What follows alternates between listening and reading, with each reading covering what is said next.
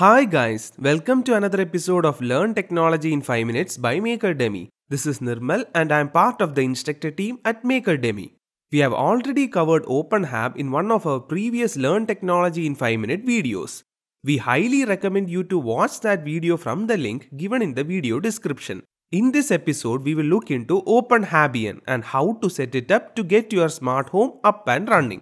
Since OpenHab is written in Java, it only requires a Java virtual machine to run, which is available on all platforms such as Windows, Mac OS, and Linux.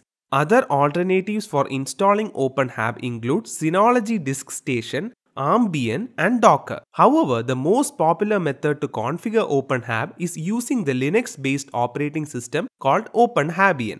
It provides a hassle-free installation experience even for users who are new to Linux. It is suggested to set up OpenHabian on a Raspberry Pi which is considered the best home automation platform because of its low cost, small form factor and low energy consumption. The recommended hardware specifications are as follows. A Raspberry Pi 4 with 2 or 4 GB of RAM, a 16 GB microSD card, 3 ampere power supply and an Ethernet connection. An external display or keyboard is not required since the Raspberry Pi acts as a dedicated home automation server for our system. It is to be noted that OpenHabian supports all Raspberry Pi models even though Raspberry Pi 4 is recommended. The current OpenHabian version 1.6.3 comes with the latest stable version of OpenHab which is OpenHab 3.0. It has ended development for OpenHab 2 which will be removed in the future. OpenHabian is intended to be a dedicated headless system to reliably run OpenHab with the help of interfaces such as the main UI, Hab panel, OpenHab log viewer, OpenHabian configuration tool and other optional components. If you learn how to work with these user interfaces, you are set for a way better experience than the alternatives. However, the main challenge here is to get acquainted with the Linux command line interface and basic commands. Now let us set up OpenHab 3 on a Raspberry Pi using OpenHabian. The installation is fairly simple as you only require two applications to be installed on your PC, namely Balena Etcher and Putty. We have provided the download links for these apps in the video description below.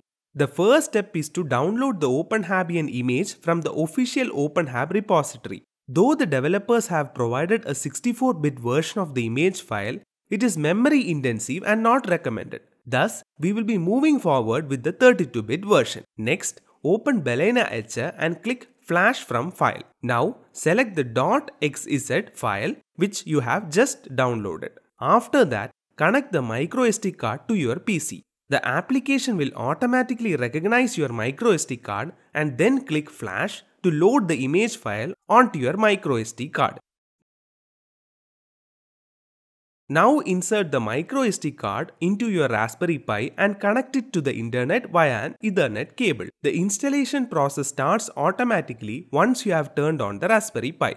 You can also set up OpenHabian without Ethernet though it is not recommended as there might be some issues while installing. To do this, you will have to open the boot drive of the flashed micro SD card and edit the openhabian.conf file with a text editor. Simply uncomment the line that has Wi-Fi underscore SSID and Wi-Fi underscore password variables and replace it with your Wi-Fi credentials. The whole process takes around 15 to 45 minutes and in the meantime you can monitor the installation progress. Open your browser and type the following address in the address bar. This is the default IP address for OpenHabian. After OpenHabian has been set up successfully, you access the OpenHab UI by going to OpenHabian colon 8080 as this is the port address for OpenHab's main UI. Additionally, for debugging purposes, you can also access OpenHab's log viewer at OpenHabian colon 9001. Now let us connect to the SSH console of Raspberry Pi using Putty. This will be the command line interface for your OpenHab system.